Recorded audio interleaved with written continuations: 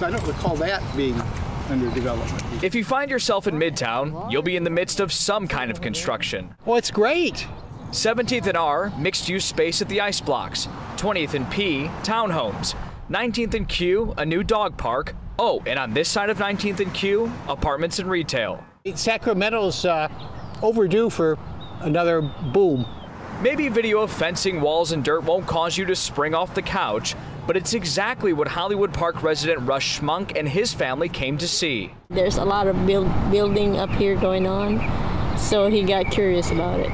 Sacramento Association of Realtors President Franco Garcia says getting to this point started a decade ago. It was depressed for quite a while, and I think what has happened is a lot of people have bought property in that depressed state, and in that state have realized that, hey, there's a good upside to it. Garcia points to the Golden One Center and future work at the rail yards as catalysts in Midtown's growth.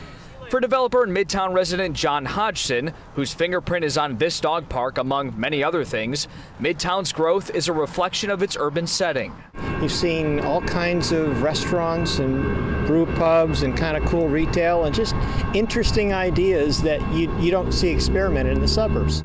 Of course, it's not all good. Right now, uh, construction labor is difficult and expensive to get because we're still, you know, the industry is still competing with the Bay Area. And there's the cost. The challenge is land's here five times more expensive. It's harder to build here because you have no place to put your supplies when you're building. If it means a delay, that's okay with Russ, who's been here 35 years. I recall moving here being warned about hey, you're going to a real cow town, and to some extent it was true. It was quiet.